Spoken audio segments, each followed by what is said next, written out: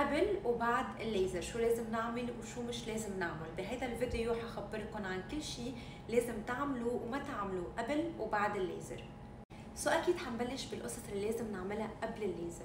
نصيحة مني لكم أول شغلة دايما بحب أنصحكم فيها أنكم تتحمموا قبل الليزر تحمموا شعركم كتير منيح وجسمكم وتليفوه بالصابون عشان ما تتحمموا من بعد الليزر وحقلكم ليه ما تتحمموا من بعد الليزر لما نوصل لنقطة شو اللي لازم نعمله أو ما نعمله من بعد الليزر so تحمموا ونظفوا جسمكم وشعركم كتير منيح قبل الليزر عشان ما نتحمم من بعد الليزر هي أول نقطة. تاني نقطة وهيدي أكيد كلكم تعرفوها وأكيد كلكم تعملوها قبل الليزر قبل ما بدنا نروح نعمل ليزر بنشيل على الشفرة ما بنشيل على ال wax ولا بنشيل على Braun ما بنشيل من بصلة الشعر ما بنشيلها من جذورها.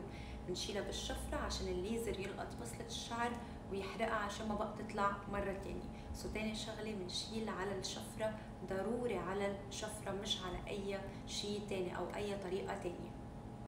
so بس هيك بنكون اخدين موعد الليزر تبعنا بنتحمم نحن بالحمام بننظف حالنا كثير منيح بنشيل الشعر تبعنا على الشفرة وبنروح على موعد الليزر تبعنا.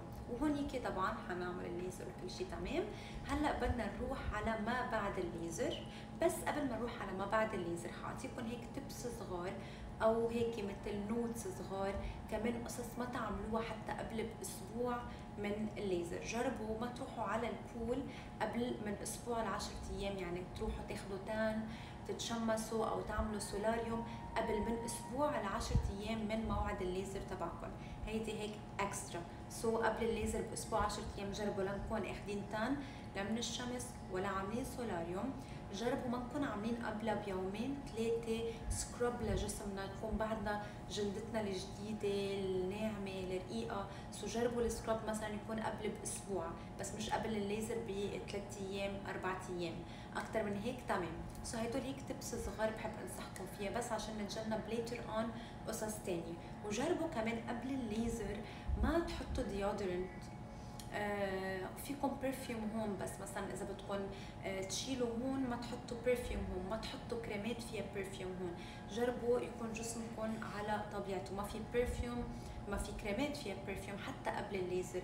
بدكم أكيد تعملوا بهيدي المنطقة. ما تحطوا deodorant آه أو مزيل العرق آه تحت عشان كمان ما يكون في عندكم chemicals ونحن عم نحط ليزر على chemicals so هدول ثلاث قصص جربوا ما تعملوهم كمان قبل ما تروحوا. على موعد الليزر تبعكم. هول بدكم تضلكم مذكرينهم تقريبا قبل بأسبوع من الليزر تبعكم. فيكم تحطوا مزيل العرق قبل بنهار بس حتكونوا تحممتوا شلتوا مزيل العرق من من البو تبعكم من بعدها بتروحوا على الليزر. قبل ما نفوت بشو اللي لازم نعمله وما نعمله من بعد الليزر خلوني أعطيكم كمان نصيحة. جربوا لما تروحوا تعملوا ليزر تلبسوا قصص هينة أو سريعة اللبس والشلحان عشان هوني كمان ترتاحوا وكمان تكونوا سريعين. يعني أنا لما بروح بجرب ألبس dress فيكن قصير فيكن طويل مثل ما بدكم شيك يريح عشان ببلش مثلا من إجري فبيكون هين ان أنا علي. okay؟ ولو بدي بلش من فوق هينة انه مثلا أوطيه لتحت. فجربوا ألبسوا كمان شيء هين عشان هيك تكونوا سريعين وما تضطروا تشلحوا تحطوا تيابكم بمحل أنتم ما بتعرفوه تلبسوا so, هيدي هيك tip فيكم تعملوها فيكم ما تعملوها. هلأ حنفوت ب part بعد الليزر. خلصنا ليزر رجعنا على البيت. هلأ في ناس بتحمر في ناس بصير عندها مثل هيك التهابات طفيفة. فهون بتروحوا بتحكوا الصيدلية عشان تاخذوا مرهم أو الدكتور بتقول لكم عن اسم مرهم تحطوه من بعد الليزر. أنا من الأشخاص اللي لا بحمر ولا البو تبعي بتتأذى ولا شيء. طبيعي مثل ما رحت برجع. أوقات بكون في شوية حمر بس مش كتير بتركه يروح لحاله. so إذا أنتم كتير بتتحسسوا وبشرتكم حساسة واحمريتوا وعمل هيك مثل براغيل أو نقط بتحكوا الدكتورة بتقولوا لا أنا هلأ شو بحط؟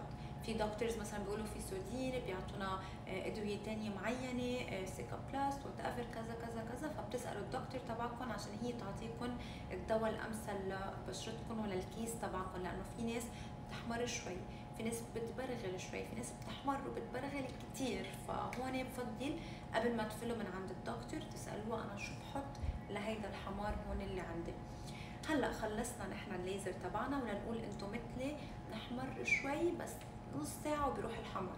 برجع أنا على البيت من بعد الليزر ما بتحمم at least لبالليل بعد ست سبع ثمان ساعات. بفوت بس مي على جسمي لأنه طبعا قعدنا بمحل ناس تانية قاعدة فيه آه، استخدمنا قصص. وبالليل بجرب بس كب مي على حالي مش مي سخنة مي مسقعة لفاترة حتى فاترة مش ميلة للسخونة فاترة ميلة للسقوعة للساقعة. so ما بنقرب مي سخنة على جسمنا ما بنسلق جلدتنا. بعرف أنا بنت بحب المي السخنة كتير حتى بالصيفية. so جربوا ما نقرب مي سخنة على بشرتنا. جربوا ما نحط كريمات فيها روايح حتى أكيد لازم ترطبوا من بعد الليزر. بس إذا بدكم ترطبوا بمرطب فيه perfume بفضل ما ترطبوا أحسن. فنجرب نبعد عن deodorant كمان لنهار عن أي كريمات أو مرطبات للبشرة فيها perfume فيكم تجيبوا شيء مرطب من الصيدلية ما في perfume في بكتير براندات هدول القصص بتجيبوا لترطبوا بشرتكم بس minimum بعد أربع ساعات بفضل أو ثلاث ساعات بترطبوا بشرتكم بعيدا عن أي كريم فيه بقلبه perfume طبعا أنا بعرف بتكونوا من بعد الليزر قرفانين جسمكم قرفانين حالكم بدكم تفوتوا تتحمموا ممنوع تتحمموا. ليه ممنوع تمسكوا الليفة وتحفوا جلدتكم ما بيسوى بتكون جلدتكم بعدها محسسة آه، هيك ضعيفة بهيدي الحالة. فنحن ممنوع نفوت نتحمم نستخدم الليفة على جسمنا من بعد الليزر. عشان هيك قلت لكم تحمموا قبل الليزر. واحد. اثنين ما بيسوى حتى لو ما استخدمتوا الليفة ما بيسوى تستخدموا shower gel shower gel فيه كمية perfume و chemicals كتير. فما بيسوى تحطوه كمان على جسمكم عشان هيك عم قلكم إذا اضطريتوا بعد خمس ست ساعات قبل ما تناموا بدكم تتحمموا فوتوا كبوا على حالكم مي مسقعة أو مي فاترة ميلة للسقوعة بس مي على جسمكم واعملوا بإيدكم هيك بس. بس that's ما بنحط لا shower gel ولا أي نوع من أنواع الصابون ولا طبعا ابدا ليفة على جسمنا. فهيدي القصص اللي ممنوع نعملها من بعد الليزر. أكيد ما في داعي أخبركم ممنوع ننزل بالشمس. هيك حرين طلقين. آه تاني نهار على الشغل مثلا بلا واقي شمس at least لهون إيدينا محل ما مبين. إذا لبسنا جينز وهيك fine بس هون إذا مبين ما ننزل بالشمس بلا واقي شمس. ونجرب أصلا ما ننزل بالشمس. طبعا ما نروح على البحر أو على ال pool وناخد tan ونحط زيوت ونجرب ناخد لون. ما بيسوى بيسوى بيسوى بصير عندكم بعيد الشر cancer جلد. بصير عندكم أمراض بجلدكم فابدا ممنوع تنزلوا تاخدوا tan تتشمسوا مثلا أو حتى تنزلوا على شغلكم بالشمسات بلا ما تكون حاطين واقي شمس على المحلات اللي عملنا لها ليزر بلا آه، آه، واقي شمس. فجربوا خبوها يلبسوا طويل أو حطوا واقي شمس على ايديكم وهالاخبار so طبعا ممنوع solarium طبعا ممنوع نروح على البحر ونتشمس وممنوع أكيد نعمل solarium. أكيد أكيد أكيد ممنوع نعمل scrub لجسمنا بعد تاني وثالث ورابع يوم. minimum تنطروا أسبوع 10 أيام لتعملوا scrub جلدتكم كتير رقيقه كتير حساسة فحتقسوها حرام. نجرب ننطر من أسبوع ل 10 أيام قبل ما نعمل أي scrub أو أي exfoliation على جسمنا. وهيك بنكون باختصار حكينا عن كل شيء لازم تعملوه مش لازم تعملوه قبل وبعد الليزر آخر شغلة حقلكم إياها هيدي النصيحة سمعتها من دكتورة اللي بتعمل لي ليزر إنه جربوا ما تعملوا ليزر للمحلات اللي أنتم مش بحاجة لها. يعني مثلا وشكم في ناس بتكره الوبر اللي على وجهها جربوا ما تعملوا له ليزر.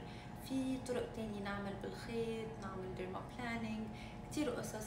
بس إذا أنتم منكم بحاجة يعني الشعرة منا سودة وثقيله وكبيرة إذا أنتم مش بحاجة ما تعملوا ليه؟ لأنه إذا كانت الشعرة خفيفة وبر وعملتوا ليزر هيدي أخطاء كتير ناس وقعوا فيها. مثل وجههم راحوا عم يلعبوا بوجههم. عم يعملوا مثلا ليزر full body فالدكتور أكيد بطبيعة الحال بتسألهم بدكم تعملوا لوجهكم أنتم كمان مثل ما أنا كل جلسة الدكتور بتسألني وأنا بقول لا ما بدي أعمل لوجهي فأكيد الدكتور بتسألهم بدكم تعملوا لوجهكم؟ ففي ناس بيقولوا إيه بركي بنخلص من الوبر اللي على وجهنا. بيروحوا بيعملوا لوجههم ليزر فجأة بيكتشفوا بعدين إنه هيدا الوبر عم يطلع شعر أسود وقاسي وسميك. ليه؟ مع إنه ليزر مش شفرة. لأنه المناطق اللي فيها وبر وأنتم ماكم بحاجة لليزر اوقات الليزر بحفز بصلة الشعر فبتصير تطلع أسمك وأكتر وأقوى من قبل. فأوعكم تعملوا ليزر للمحلات اللي أنتم مش بحاجة تعملوا لها ليزر. أنا صار في هذا الشيء بفخادي. أنا بفخادي ما كان في داعي أعمل ليزر كان عندي وبر خفيف جدا جدا جدا جدا ما ببين ابدا ابدا. قلت بما إنه عم بعمل full body ليزر هات لفوت وأخلص منهم لهدول الوبر. later on بعد ما خلصت كل جلساتي عملت كتير جلسات يمكن almost 20 جلسة.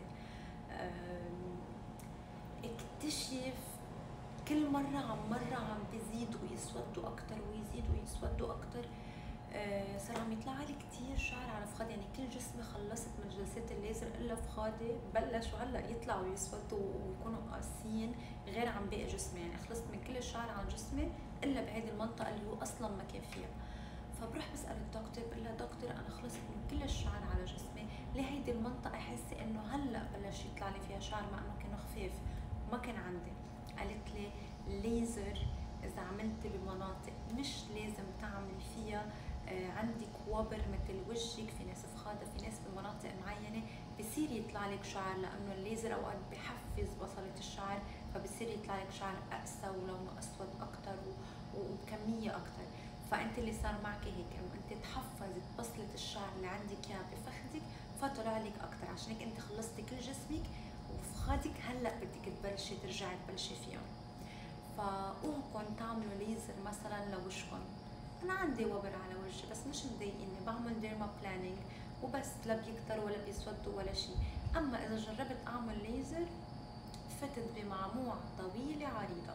فبنصحكم بس تعملوا ليزر للمناطق اللي أنتم بحاجة إنكم تعملوا فيها ليزر غير هيك ما تقربوا ليزر على المنطقة ما بدكم تقربوا عليها أو مش بحاجة تقربوا عليها. وبس هيك هيك بنكون حكينا عن كل شيء لازم نعمله وما نعمله قبل وبعد الليزر. Do and don'ts before and after laser. so إذا نسيت شيء ذكروني يا ريت. وإذا عندكم أي أسئلة حطوا لي بال comments بس هيك love you.